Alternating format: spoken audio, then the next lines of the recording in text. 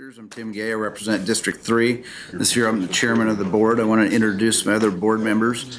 Uh, Director and Board Treasurer, oh, Rich isn't here, unfortunately. Rich Hurley is not here, he's our treasurer. Uh, Director Ann McGuire represents subdivision two. Director Rick Yoder representing subdivision four. Director Craig Moody, subdivision five. Vice Chairman Barrett is here, I don't know, but he- he's in the building, we know that. Uh, Represents uh, subdivision six and Director McMine subdivision seven. Did you wave? I did. Oh, there you go. A happy wave. And then um, Director Mike Cavanaugh represents subdivision eight. To my left is President and CEO Tim Burke, of course, and Kim Tracy is our corporate secretary down on the end. Uh, A Few housekeepings, please silence your phone. Uh, We will stick to the agenda that we have. Uh, There are public comment need uh, on every issue that we have uh, on the agenda today. Uh, You get three minutes. Please speak to me if you could. Uh, Go to the podium, and we will be timing you every now and then if uh, uh, some directors ask questions, we may extend that, but please keep your remarks to, to three minutes in order to give everybody an equal chance to talk, because that can get lengthy as we have more issues on the agenda. Today may not be a problem, but we stick to a light system, and at uh, one minute left, it will turn yellow or red. It's not working Yellow. again, so Oh, I'm it's gonna not working, manually so time Kim will everybody get up and- today. Give you the wave, or I'll give you the wave and get to all the. She's got a shovel. Yep, so, other than that, yes, I think uh, that's all we need. To do a safety briefing? Yeah, Tim, would you do a safety briefing? Very good. Uh, You're in the auditorium on our, um, uh, on our atrium level of Energy Plaza on the uh, east side of the building over here. Um, So in the event of a fire, we would all exit in the manner in which you entered this room. Uh, We would go down the steps and exit on the 16th Street side of the building. When you use the steps, please make sure you use your three-point touch, uh, one hand on the railing and two feet on the ground.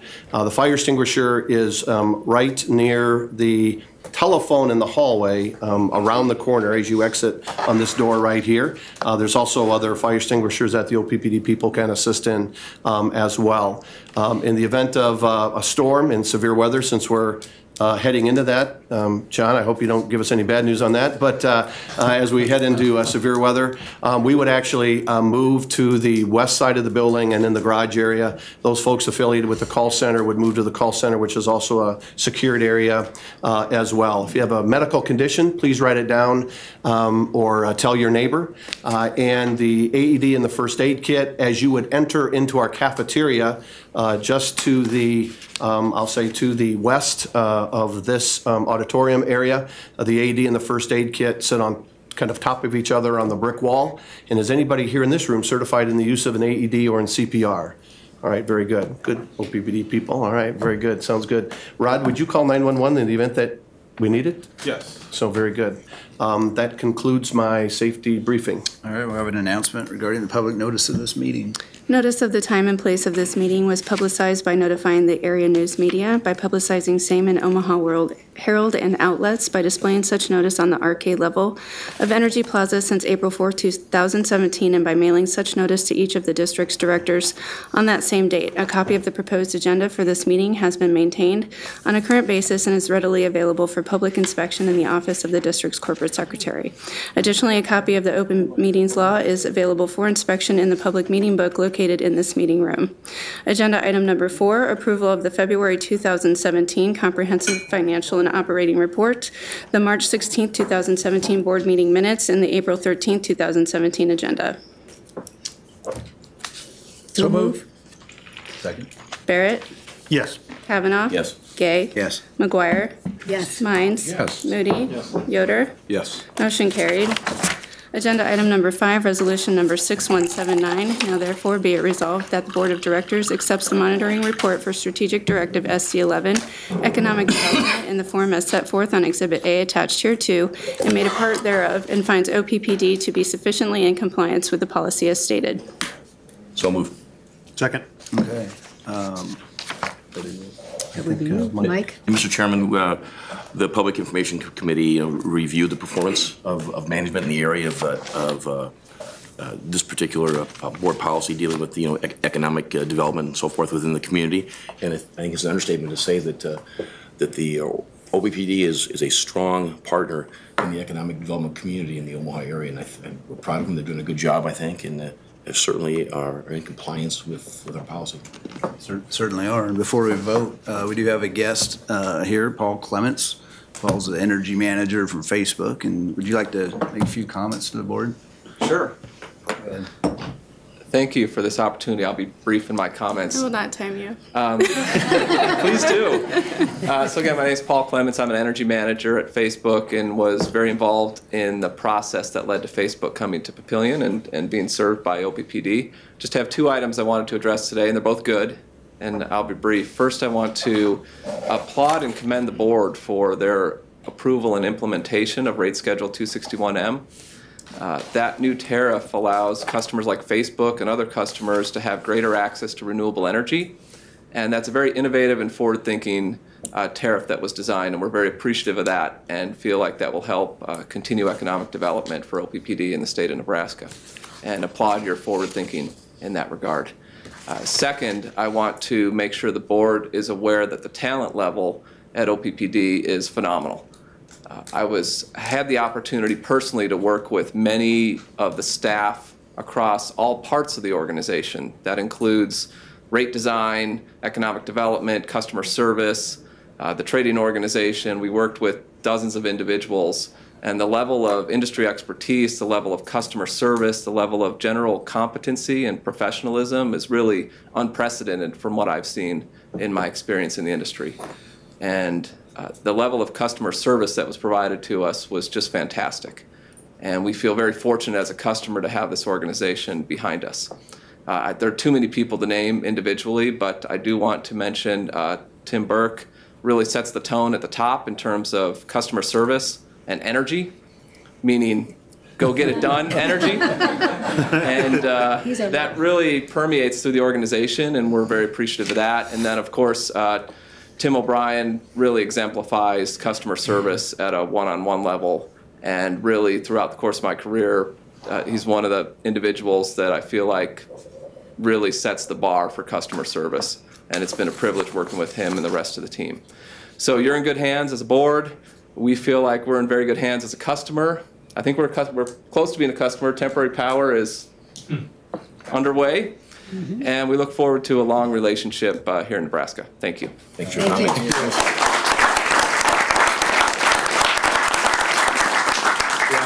I just make comment, uh, I wish we could have used that three-minute clock when we were in negotiations, actually, so uh, that would have been, that would have been really good. You wouldn't have gotten it done. Thanks for your comments, Paul. I'm sure. Excellent. Are there any board comments that anybody would like to make? Well, I think, go ahead. Oh, I just want to say thank you to Facebook for looking at Papillion and Sarpy County and Nebraska and OPPD. Uh, We're glad you're here. Welcome. Al- Also, uh, well, I'd just comment as chairman of the board, of course, too. Uh, Thank you so much. Uh, It's an exciting adventure for everybody, and we really appreciate it. I'm a Papillion resident, so it's, uh, it's great news. I know they're doing a great job, but I, I really appreciate your comments on our team. Um, And I'd just like to extend the comments to not only the economic development team, but you'll find out as we go along, the whole organization is very good, customer-focused, public power. That's why, that's what we're supposed to be doing, so that's great uh, for you to say that and give us a little shout out. We really appreciate it. Um, We love working with uh, Tim and his team, and I agree, he's kind of energizer bunny, and that does trickle down because they're all working very hard. So we'll leave it at that. So congratulations to the OPPD team, and I know there's another team, the Chamber of Commerce's and everybody else as well, and uh, appreciate the nice comments on the rate structure. That was innovative and uh, very, we're very proud of that, so. With that, last call, anybody from the board? No. All right. Any public comment? Do we need public comment on this? Any public comment? Don't see any. All right. We'll go ahead and Barrett? vote. Yes. Cavanaugh? Yes. Gay? Yes. McGuire? Yes. Mines? Yes. Moody? Yes. Yoder? Yes. Motion carried. Agenda item number six, resolution number 6180. Now therefore be it resolved that the Board of Directors approves the recommended revisions to Board Policy BL 12, delegation to the President and Chief Executive Officer, transmission, wholesale electricity, fuel, and other energy transactions in the form as set forth on Exhibit A attached hereto effective April 13th, 2017. Okay, Director Hurley's not here. Do you want to handle this? Well, actually, that would be systems, Oh, which I'm would sorry. be, uh, Sorry, Director Yeah. Yoder. I'll be happy to chime in, but you've got the floor. Ah, No, you go right ahead. No, you got the floor, that's fine. Go ahead. Um, I was taken unaware, so uh, absolutely, um, I- the resolution uh, is, this is something that, uh, on the board policy. Hey, Rick, first off, we, we need a motion in a second before we. Oh, is that what I'm doing? Yes. So moved. Oh, okay, so I move. I second, yeah. Go ahead. Now you can go. Go ahead. Now I gotta talk?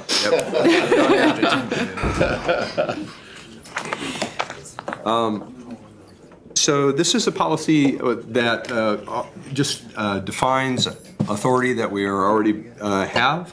Um, And so I encourage, who can I turn this over to? Yeah, why don't, why don't I just take it uh, to begin with? This is uh, authority for us to be able to use um, yeah, hedging transaction, future transaction around energy and energy commodities, um, really as a, as part of our toolkit um, to look at um, reducing risk, uh, to increasing price stability, uh, which all fits very well with our strategic directives and, and other linkage documents as well.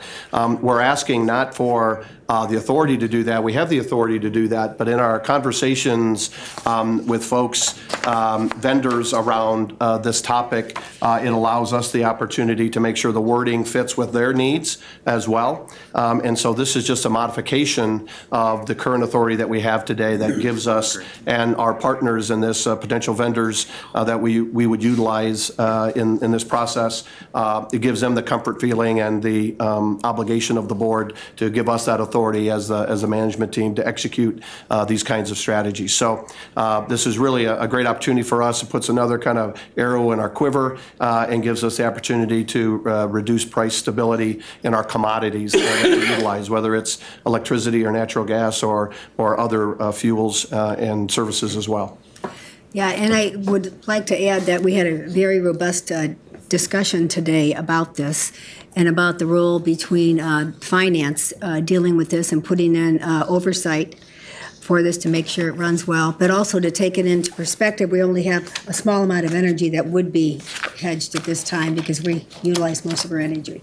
So it's, it's a small amount, but still at the same time, we asked uh, Ms. Monroe to give us a, a long discussion about how uh, she and her team and the, uh, you know, do oversight and also have the audit with us. So I don't know if anyone would like us to repeat that. It might be a good idea to talk a little bit because uh, Warren Buffett used to say that derivatives can be uh, weapons of financial mass destruction, but I don't think this is what we're working about. We're working about stability here as far as our uh, energy cost. If you can come and maybe mention a little bit what we've Okay, thank you, Director McGuire.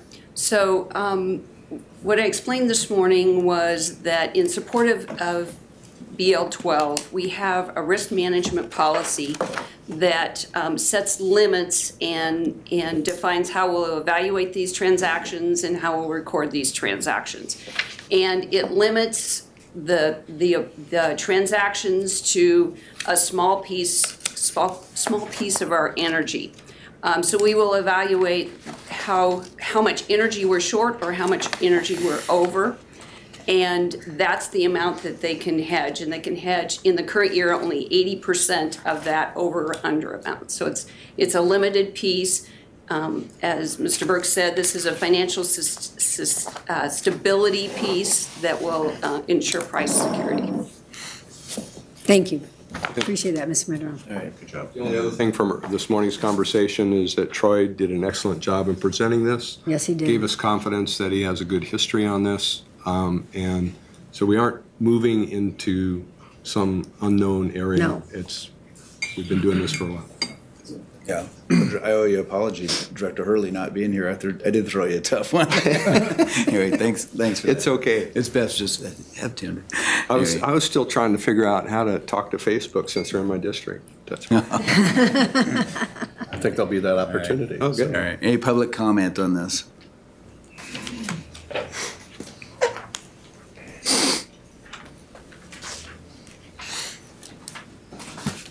John Pollock, 1412 North 35th Street, Omaha. Uh, I appreciate that uh, you're on the stable side of the uh, hedging, or at least that's your intention, so that uh, uh, rather than taking some kind of speculative position, you're trying to stabilize prices. Uh, What I wonder about are the institutional controls to keep somebody from uh, having, exerting irrational exuberance in the future. Go ahead. We actually discussed that. Oh, That's good. This is part of our robust discussion, so we'll be happy to. So um, Troy, uh, Mr. Via's area will actually um, be the person that, the group that originates the transactions. The accounting and auditing staff will have oversight and uh, record and evaluate those transactions. As I said, there's a very limited amount that they will have available to, to hedge, and we will watch that on, on a uh, continual basis. Thank you. Thank you. It, it it does allow multiple people's approval in the process, so not, not one person, uh, as my senior team would say, no CEO can go rogue on this, uh, right? Uh, To Julie's point yesterday, on a different conversation. So uh, we have multiple checkpoints and, and authority approvals to be able to do that. Any other public comment? I don't see any. Go ahead. Barrett, Yes. Cavanaugh. Yes. Gay, Yes. McGuire, Yes, Mines. Yes. Moody. Yes. Yoder. Yes. Motion carried. Agenda item number seven, resolution number 6181. Now therefore be it resolved that the Board of Directors accepts the monitoring reports for GP 1 through 14 and BL 1 through 6 substantially in the form as set forth on Exhibit A and Exhibit B respectively attached hereto and made a part thereof. So, as chair of the committee, uh, and, and just to let everyone know that we have 15 governance processes uh, by which this board operates. Uh, And each year, we review those, those processes. And uh, this year, they were sent out to the board in, in February to review and provide feedback. Uh, And uh, we, we then analyzed it uh, internally. They analyzed it in March and April again reviewed those processes uh, today, and there's, there are some, some of the processes where there are questions by board members, and, and uh, those will be addressed. We, we plan to have a, uh, uh, an in-depth discussion during a board policy workshop in July. Uh, So this was presented to the board today for discussion, and now we're looking for a confirmation by the board that, uh, that we adopt the policies with the understanding that we'll have uh, revisions uh, to discuss in our July board meeting. So moved. well, Yeah, motion and second. We didn't get a motion and a We second. need a second. Yeah. And then we'll have Oh, yeah. discussion. need a motion. second. So I move that, that we approve the policies. Thank you. Second. All right. Any board discussion? Uh, I would, uh, I just want to underscore, uh, something that Mick said, which is we, um, there was a lot that we kind of left, um, on the table for discussion in July, uh, when we reviewed this. There were, were several comments that I think will, that just, we just weren't going to hash out today, right? Uh, so I think generally speaking, um, it makes good sense that we are in compliance with all of them except, uh, I think two. Um, but uh, we'll have some fun discussions in July around some of these, thinking about really kind of how we can enhance and improve uh, going forward. But Yeah, And I think it's important when we first establish these policies that we- everybody realizes it's a living document, that it's always, uh, there's always going to be time for change. Uh, This is a sign of a robust board to look at these and to evaluate and define, tweak them. Uh, And I think we're going to have Eric Douglas come out and uh, be our moderator for that to help us through this. And I think it's a a great thing. And this will continue to happen about every couple of years or so. And I appreciate um, what Director Mines referred to earlier about the process. We've already gone through the survey, we've already looked at things. We've made some short-term changes that Yep. um, administratively changes, that already. So I do look forward to the discussion in July. Though. And that is open to the public, by the way. And I'd be, by the way, I'd be remiss if I didn't acknowledge Scott Foch and Yep. and Kim Tracy for their coordination and and administration of this board policies. They've done a great job. Yep, And before, before we move on on that then too, there are a lot of things to discuss. I know we have one day right now planned, but after seeing this, you know, I'm gonna run it by you. Either we're gonna have to limit time on this or, Oh, or stretch it to whatever, we'll have to figure it out. But I did want to also Bring the give. clock, the three-minute clock. on. Yeah, three minutes. Everyone gets three minutes. But uh, I would like to bring attention, though, I brought this up earlier to somebody, but uh, Director McGuire really started this from where we've been. Um, The idea of doing board policies and being a much more formal and efficient board uh, really Thank goes you. to I Ann. appreciate She that. brought that to our attention, and we've been working on it over the years. And yeah, it's, there's always, it's a work in progress, living document. Uh, So, but I think it's a good thing Yeah. these are guidelines that we try to stick to, but I don't know if it's the old, you know, it is what it is. These are guidelines we stick to. So uh, as changes happen, but anyway, Ann, you deserve credit on Thank this. you. I think it's a good Appreciate thing, that. and the new board members, and like I say, I mean, some of us are only four years going into the fifth year. You've had a little more experience, but this is a good training model too for us, all of us to have a good conversation. So I'm just warning you right now. It could be like a day or a day and a half from all the things I've seen. So uh, I think that's fair. So with that, I'll shut up. Good, healthy discussion. Yes, exactly. That's good. Uh, With that, I'll shut up. Any uh, public discussion on this? I don't see any. Go ahead, Kim. Barrett, Yes. Cavanaugh. Yes. Gay, Yes. McGuire, Yes, Mines. Yes. Moody, Yes. Yoder. Yes. Motion carried. And now for the president's report. Very good, thank you very much. Uh, uh, We have a, uh, a couple things going on, um, obviously at the district. You know, from the generation side, our Nebraska City 2 uh, plant has uh, begun a 45-day outage uh, a little over a week or so ago to replace the uh, high, high pressure, the HPIP turbine rotor that was damaged a couple years ago. John and his team done just an excellent job of working through, one, the modification of that, so we could get that plant back up and running a couple of years ago in a relatively short period of time, uh, but also on the replacement and the, and the cost around that. So uh, congratulations to John and his team that, that worked very hard uh, on that. Uh, Kind of a line uh, around that as well, we continue with our, our lean fossil uh, generation cost and process improve, uh, excuse me, improvement initiative, uh, really to focus in on um, station uh, operations and maintenance practices and reduce cost. Uh, We also had a conversation today about kind of our generation um, portfolio, but we're really trying to identify ways to reduce costs, to improve that margin opportunity that actually helps customers uh, and helps us to maintain uh, rates and the stability of those rates. Uh, So that work is going on not only in John's group, uh, but in other parts of the organization, and I'll highlight those as we continue uh, that work as well. And then we talked a little bit about this earlier in our committee meeting, but the farmers, the Midwest Farmers Co-op facility was built on the OPPD Arbor line. Many people don't know that we actually own a, a, a, a rail line uh, that goes from Nebraska City to Lincoln. Um, and we've used that in part by uh, negotiating with, with rail and, and coal um, uh, inventories and, and contracts, and, and it's served us incredibly well. Uh, But a couple years ago, a team made up of our generation folks and economic development and others uh, really looked at that as an economic development asset. And so how do we, how do we engage around that asset to create economic development? So the Midwest Farmers Co-op has built their facility, uh, and uh, they'll be receiving their first grain train um, uh, next week. So my guess is that'll be great for that, you know, community and region uh, as well, not only for the agricultural community, but for the employment community around Syracuse, Nebraska.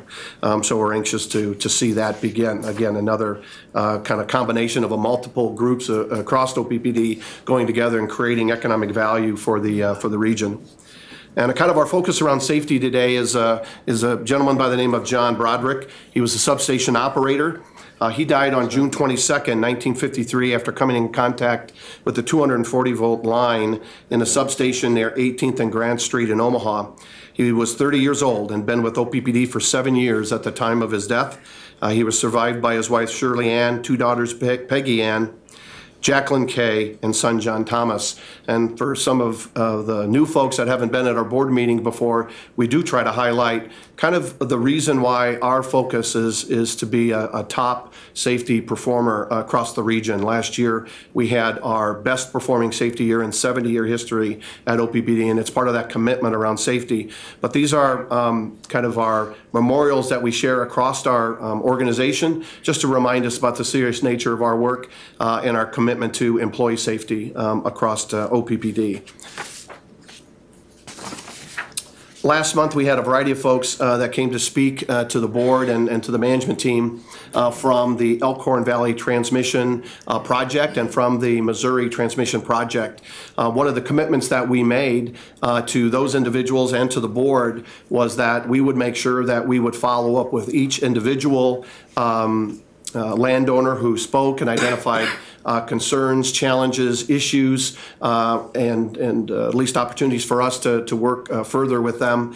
Um, I want to let the uh, audience know and the folks here in the auditorium that we did make contact with every single one of those individuals. We were only not able to make contact, although we left a telephone message. Um, we, we had contact with every customer except for one where we had to leave a telephone message. But we followed up with each of those customers um, in a letter form to answer any of their questions or concerns that they may have. And many of those resolutions that were identified or concerns that were identified have been resolved um, and we'll continue to make those contacts and, and, and provide that customer contact to those customers that are uh, impacted by that. Uh, the board also received kind of a detailed review of each customer's concerned and kind of the mitigation strategies that we've laid in place uh, for them to have a, a, a deeper knowledge on the concern or the issues. So just want to make sure uh, the audience knew that we've kind of followed that back up. Um, also, uh, we, we did a, a, presentation today um, in closed session about the stakeholder process and also about condemnation, but the stakeholder process will be on the OPPD uh, website uh, on both of these projects, so you can see the extent in which we uh, did receive uh, stakeholder, customer, landowner input uh, in the line location process uh, and kind of where we are to date in, in each of those projects. Um, so with that, I'll, I'll just leave that, but I want to make sure we followed up and, and concluded um, that item as well. On the uh, T and D side, um, field installations are nearing uh, completion on our smart grid, kind of our phase one. Our phase one is really kind of our pilot project. Um, we are currently in the process of implementing the logic automation, which is currently taking place uh, right now and today. Uh, the smart devices will automatically restore unfaulted segments in this phase one area. It's about a four mile, uh, four square mile area in the northeast part of the city where we could really test communication capability in a heavily treed area as well as certainly in a heavily treed area. Uh, you see more um, squirrels uh, tree limb damage during storms and wind, and it's a great opportunity for us to test those systems. Um, so we believe uh, certainly this will help reduce outages by some of the automatic uh, restoration of those um, unfaulted segments, and so we'll see that the value and opportunity of that. We're also partnering with the City of Omaha as a customer in this area, as well as several other OPPD uh, employees in the Phase 1 area, uh, assisting uh, us with some of the advanced metering pilot. And that's really an opportunity for us to get feedback from the City of Omaha, who has multiple installations in that service area, as well as employees that are located in that area, to give us feedback before we begin to think about what that long-term recommendation is on our smart grid rollout. Uh, Mohammed Dogman and his team uh, that have been rolling through this pilot project have done a great job of, of setting us up. Our plan would be, uh, even though this project will go live in the fall of 2017, we'll probably come back in the spring and the March, April timeframe to kind of give a kind of a, a six-month review on kind of what we've seen, what we know, what we've experienced, and uh, potentially maybe what our long-term strategy may look like, um, and give that presentation to the board. It really is uh, important for us as we begin to think about, you know, what the what this integrated energy marketplace, as we've termed, uh, is going to look like in the future, and this will be critical to that um, as we begin to think about that strategic initiative. And though I hate to think about storm season, um, but uh, obviously um, our, our T&D and transmission distribution system uh, has performed incredibly well over the last month. Um, and we continue to have high reliability indices um, across all uh, areas of that. But it is storm season, uh, and that's approaching. And so our OPPD storm restoration team members are reviewing their plans, responsibilities, and preparation for potential large, large storms. And so what we have done over the course of the years have done tabletops and full drills around that storm preparation. There's been several emails that have kind of gone out over the last several months, just reminding our folks, review your uh, storm outage plans and be ready to provide, um, uh, as part of a member of the storm team, uh, that respective work. And so uh, we encourage all customers, in the event of an outage, uh, to be informed of the outage, and you can go on the OPPD website, um, oppd.com, or our storm uh, outage center, um, and you can go on our website and, and see what that certainly looks like. But also to make sure that um, if you encounter um, electrical hazards that may be in the street or in your backyard or wherever that may be, to make sure that you uh, call the appropriate authorities, and, and certainly OPPD will come and, and provide that um, safety restoration, or at least that safety work to prevent um, any hazards in the field. Uh, and many customers don't know the difference between a cable line and electrical line, and so if any of those happen to fall on your car, if something hits a pole, something falls down, stay in your vehicle. There's a variety of other safety and helpful tips online at oppd.com and on our storm center uh, that can, can give customers some great safety awareness uh, during these storm seasons. And lastly, uh, during the month of March, numerous activities were held to celebrate the month of women. And so we collected a variety of pop tabs. And for those of you that know that I like Mountain Dew, uh, they, they, they did well last month for me um, uh, for the Ronald McDonald House. And what they have done is collect enough pop tabs to essentially uh, pay for uh, the electric bills at Ronald McDonald for a whole year. And so this has been a community project, but our uh, women's organization, the OPPD Women's Network, uh, really took this on as a project. Members of our women's network also provided home cooked meals to families staying at the Ronald McDonald House. And also we had two lunch and learns uh, for uh, the members of our women's network. Uh, one was held on fossil plant basics, just the understanding of our generation, our generation fleet.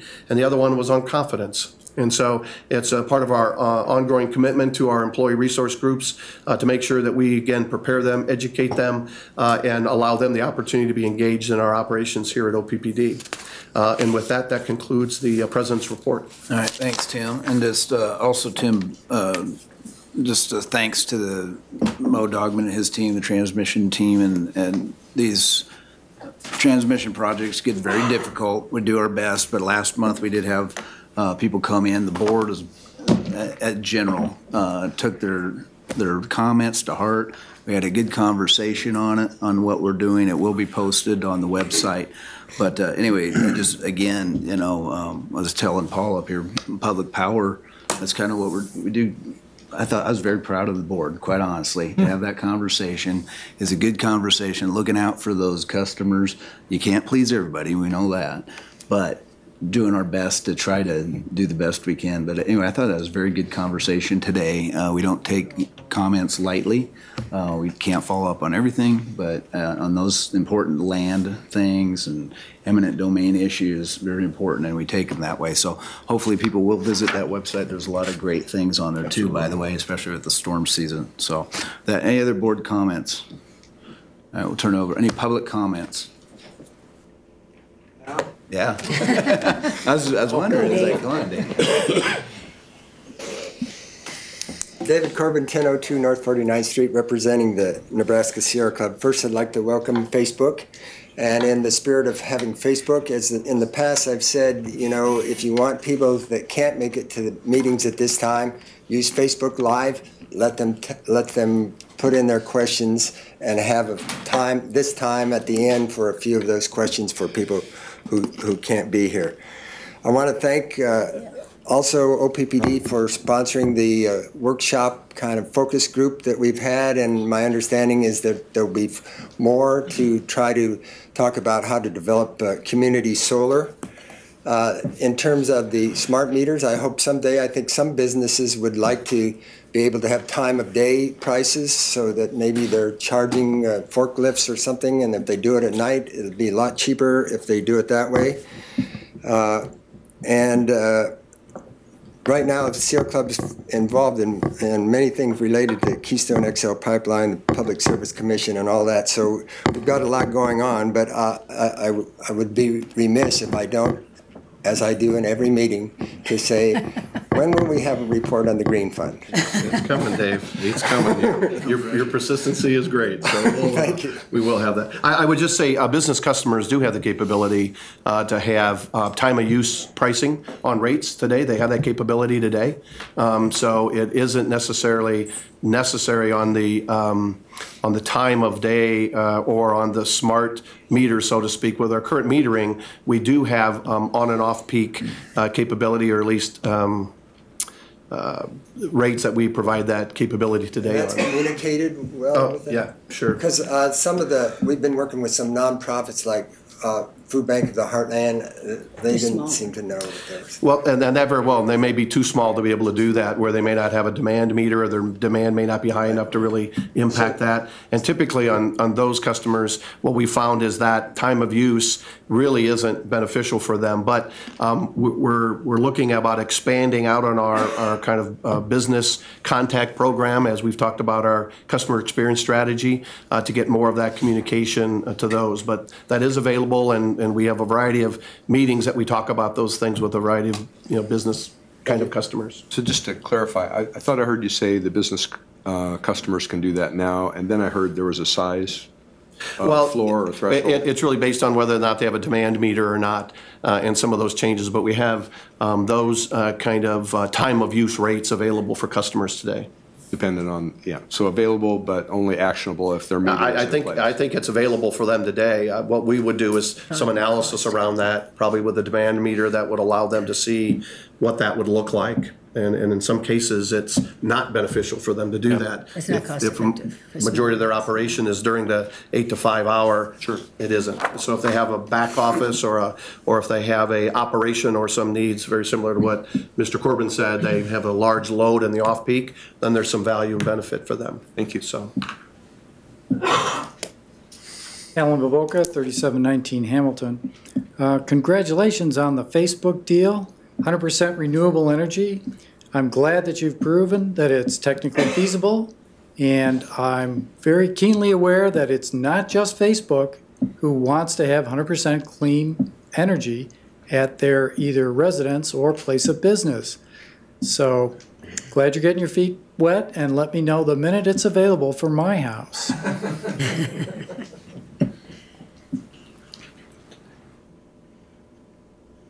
John Pollock, 1412 North 35th Street.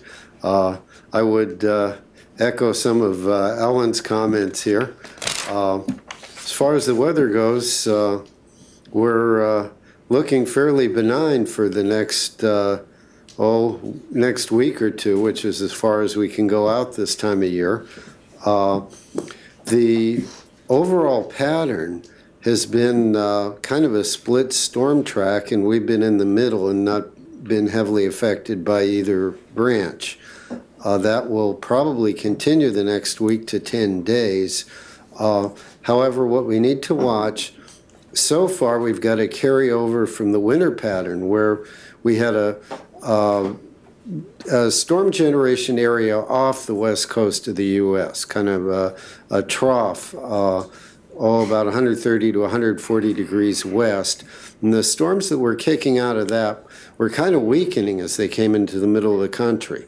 As long as we keep that configuration, that tends to put a lid on our severe weather.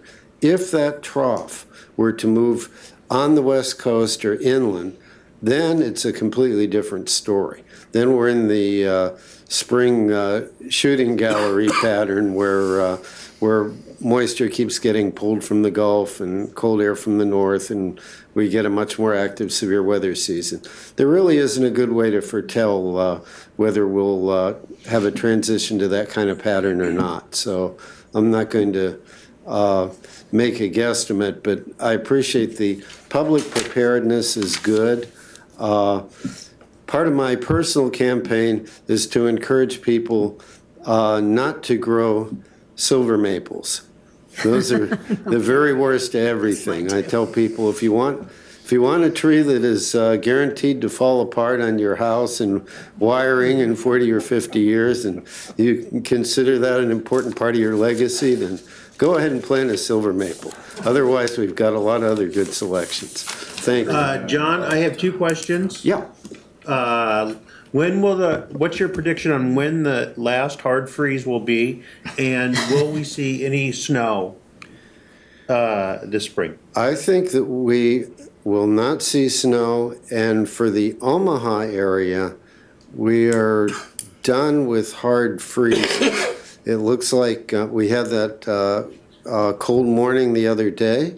Uh, That, I don't really see a repeat of that pattern in the next uh, 10 days or so. And then after that, we're getting kind of late in the season to do it.